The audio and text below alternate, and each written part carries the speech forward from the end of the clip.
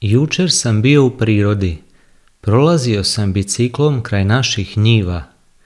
Vidio sam zemljoradnike našega sela, starije i mlađe, kako vrijedno rade. Sinovi rade sa svojim očevima. To je lijepo što žele pomoći. Lijepo je što ulažemo u našu zemlju i iz nje očekujemo rod. Također je lijepo kad se na jesen zahvalimo Bogu na posebnoj svetoj misi, misi zahvalnosti za plodove zemlje. Kad već spominjemo Boga, možemo se zapitati kako je nekada izgledao rad na zemlji kada su naši stari radili. Kad na njih pomislim, uvijek se sjetim što mi je jedan naš seljanin rekao. Rekao je da je uvijek u podne zvonilo zvono. Tada bi naši stari zastali sa radom, pomolili se, vjerojatno anđeosko pozdravljenje, neki bi čak i kolo zaigrali da bi poslije opet nastavili sa radom. Naš je seljak vezan za zemlju svojim rukama, svojim mislima, ali je srcem vezan i za Boga. Od njega traži blagoslov za svaki dan da rod dobro urodi, da budemo sačuvani od vremenskih neprilika i slično. Što čovjek jednog sela zna o Bogu? Ponajprije zna ono što su ga njegovi roditelji stari naučili. Često puta su bake bile najbolje učiteljice u vjeri.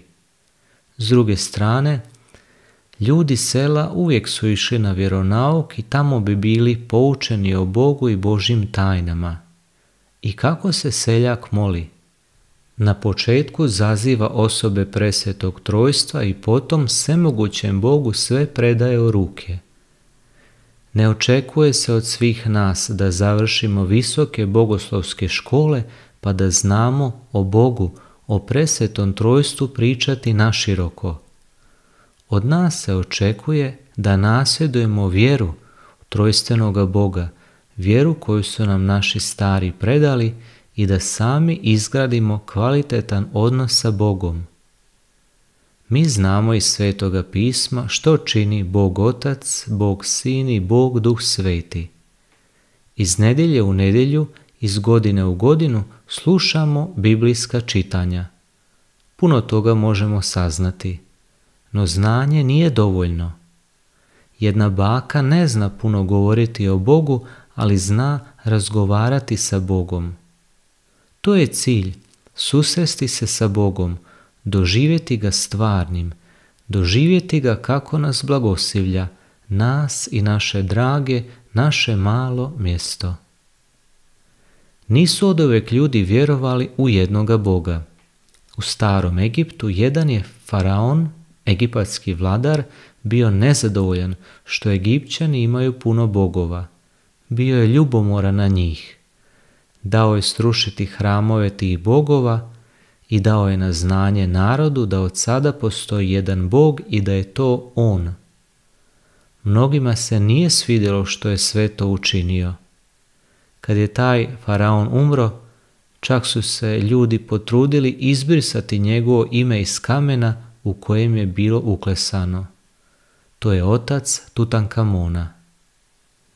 Ne tako daleko, jednom čovjeku koji je vjerovao u više bogova, progovara glas s neba i otkriva se na posljedku. U pitanju je susret Abrahama i Jahve, jednoga Boga. Bog mu se saopćuje i podučava ga da samo jedan Bog postoji.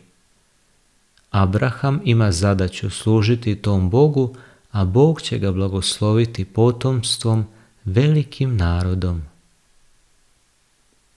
Dalje znamo što se dogodilo. Tako je nastao izabrani Boži narod, Izraelci koji su uvijek samo jednog Boga slavili. Iz izraelskog naroda je došao Isus, sin Marije i Josipa, koji je mnoge začudio. Objavio je sebe kao sina Božjega, kao Boga koji je uzeo ljudski lik. Mnogi su se sablaznili, ali neki su ga i prihvatili.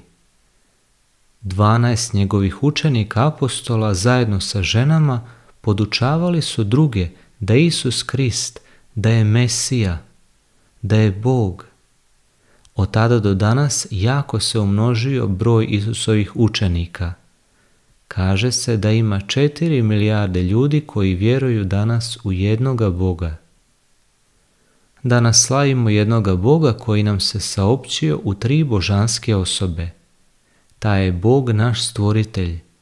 U Isusu je naš brat i prijatelj. U duhu svetome On je naša snaga, naš tješitelj, naša utjeha, naš branitelj. Naš je Bog ljubav beskrajna. Vole se osobe presvetog trojstva između sebe, vole nas sve tri božanske osobe. Smisao bi čovjekovog života trebao biti upoznati i otkriti postojanje tog jednoga Boga i ući u zajedništvo života s njim. Tko je god čitavim srcem prihvatio Boga, život mu se nabolje izmijenio. Takav ima mir u srcu, tako me je duša radosna i ispunjen je ljubavlju. To se jednostavno vidi na čovjeku ako je sav Boži. Da, nismo pozvani biti napola Boži, nego potpuno Boži. Od srca vam želim svima dar vjere za koji sami možemo moliti da još bolje upoznamo i susretnemo Boga. Mnogi nemaju taj dar i ne treba ih osuđivati niti tjerati na nešto.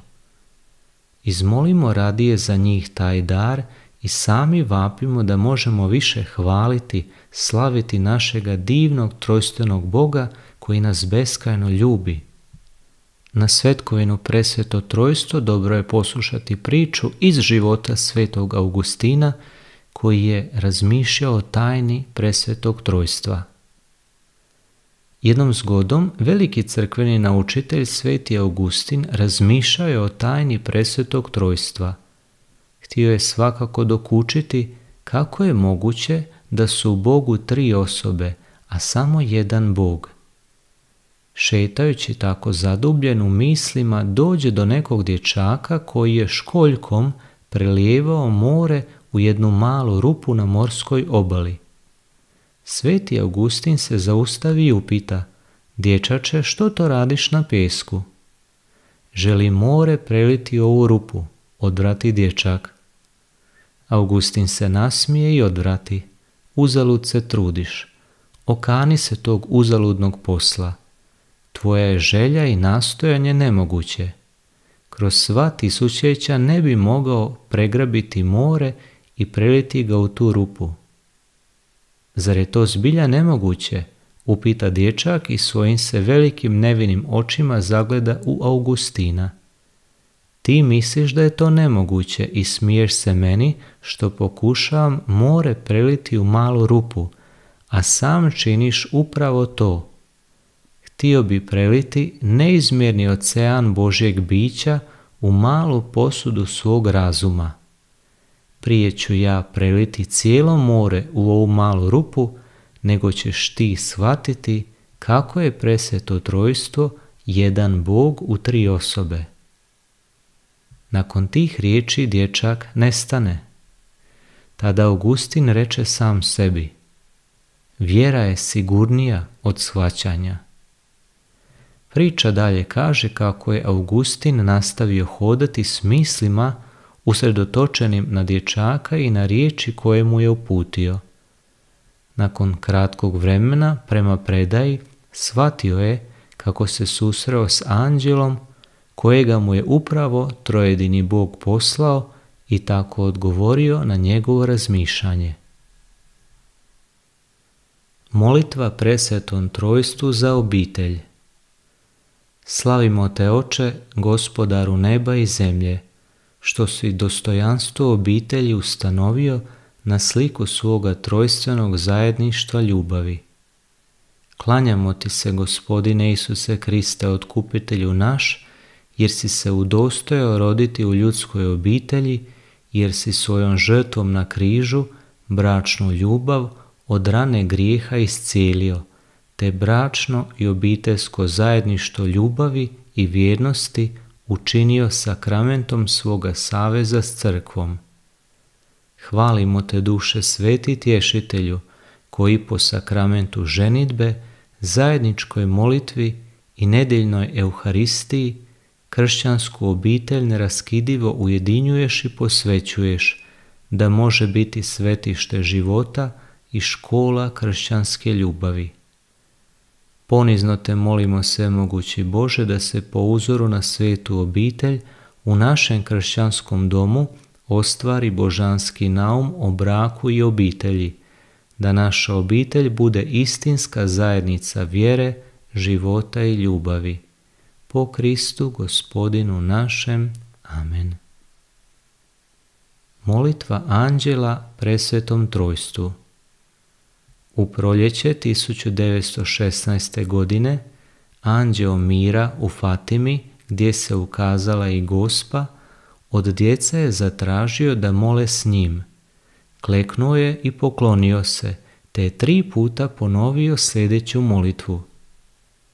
Moj Bože, ja vjerujem u te, klanjam ti se, ufam se u te i ljubim te.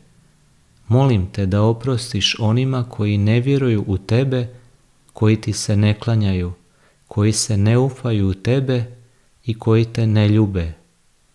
Presveto trojstvo, oče, sine i duše sveti, ponizno te molim i prikazujem ti predagocjeno tijelo, krv, dušu i božanstvo Isusa Krista koji je prisutan u svim setohraništima širom svijeta, kao naknadu za sve uvrede, svetogrđa i nemarnosti kojima te vrijeđaju ljudi.